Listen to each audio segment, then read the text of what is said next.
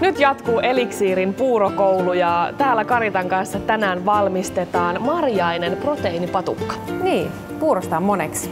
Joo. Ei tarvi aina syödä puuroa, voi laittaa vaikka smoothieta tai tehdä vaikka nyt sitten tämmöisiä kauraisia ihania marjaproteiinipatukoita.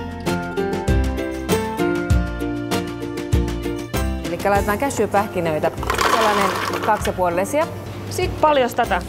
Sitten kolme pussillista. Puuroaine sisältää jo riisiproteiinia, mutta sitten taas pähkinät tuo siihen vielä lisää, sekä sitten kookosvoi. Punaja tuo ihanaa makeutta ja sitruunan kuorilta raastetaan siihen mukaan, niin se raikastaa niitä kaikkia makuja. Sitten mä laitan aina pikkusen suolaa. Ja minkä takia suolaa?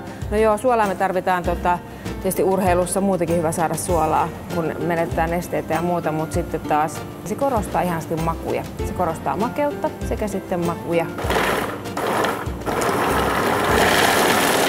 Uunia ei tarvita, eikä edes hellaa, vaan kaikki sekoitetaan joko kulhossa ihan käsin tai sitten monitoimikoneessa.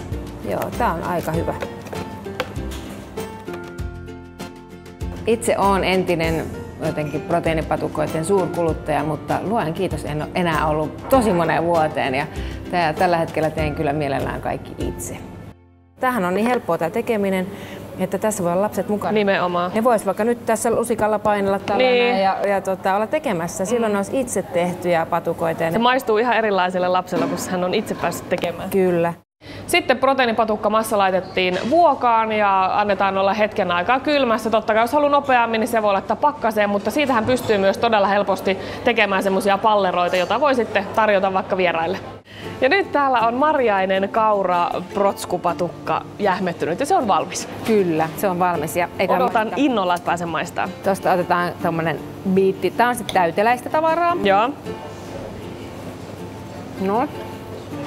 Mm. Eikö kyllä aika hyvä? Oi oi. Tällaisen tosiaan kun yhden vetäseen, niin sillä pääsee ihan kevyesti jo niin kuin jatkaa muutaman tunnin taas. No helposti. Kiitos Karita hirveästi näistä Kiitos. vinkkeistä ja ihana kun olit ja mun on pakko ottaa lisää.